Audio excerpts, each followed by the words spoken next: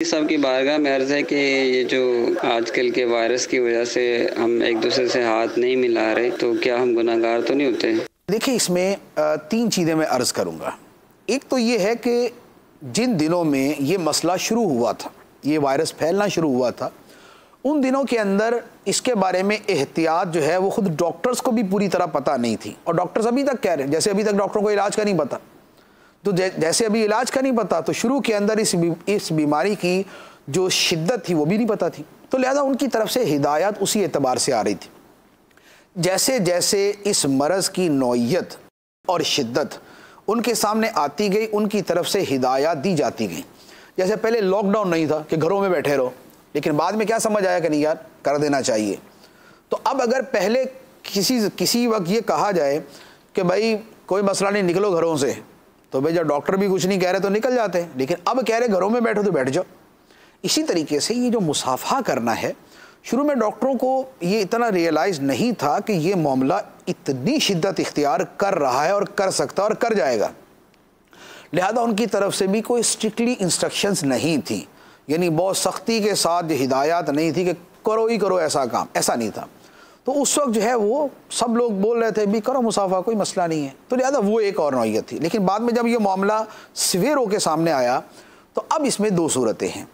एक तो ये है कि जो इस कोरोना का मरीज़ है, इस वायरस का मरीज़ है, वायरस का जो मरीज़ है, उससे जो एहतियातें हैं, वो बड़ी वाज हैं, बड़ी नुमाया हैं और एहतियात ना करने के जो नतज हैं वो बिल्कुल हर बंदे को पता है।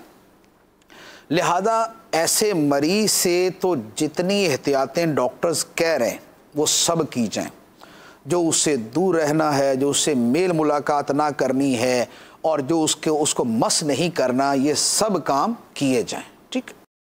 दूसरे नंबर पर ये है कि जो लोग मरीज़ नहीं हैं, जिनको ये वायरस नहीं है, उनका आपस के अंदर मुसाफा करना कैसा है? तो अर्ज़ ये है कि जिनका अभी मरीज़ होना मालूम नहीं है, लिहाजा ना तो इनके हवाले से वो सख्ती है जो मरीज़ के साथ है, और कोई ये कोई कर भी नहीं सकता कि वो सख्तियों की नौीयत बहुत ज़्यादा है उससे बचने के हवाले से। और ना ये है कि अगर ज़ाहरी तौर पे अभी कोई इस बीमारी में मुबतला नज़र नहीं आ रहा तो इसका ये मतलब है कि इसमें वायरस है ही नहीं। हो सकता हो, क्योंकि वो तो चौदह दिन तक किसी भी वक्त ज़ाहिर हो सकता है। अब ये सूरत आ जाती है अहतमाल के दर्जे में कि यार अहतमाल का दर्जे में आप दूसरे आदमी से बचने की कोशिश करें।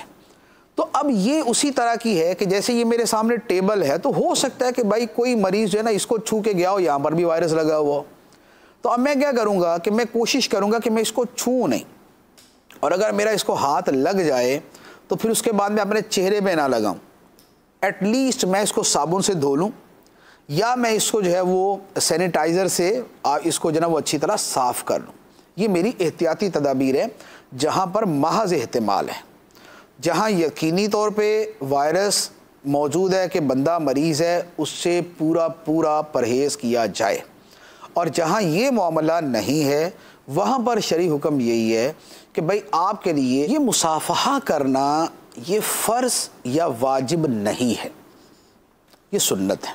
लिहाजा ज़बान से आप सलाम कह लेते हैं तो वो किफ़ायत करता है। तो अब अगर ज़बान से सलाम कह ले और ये हाथों को मिलाने से अवॉइड करें तो इसमें कोई हरज नहीं है। और अब जिसका जैसा तिब्बी हिदायत पे अमल करने का जहन है, उसके मुताबिक वो अमल करे। और हत्तल इम्कान इस तरह की जितनी भी तिब्बी हिदायत होती हैं, उन पर अमल करना चाहिए। तो ये इसके हवाले से मैंने एक जनरल बात की है कि जिसमें ये भी शामिल है और भी बहुत सारी चीज़ें आ जाएँगी।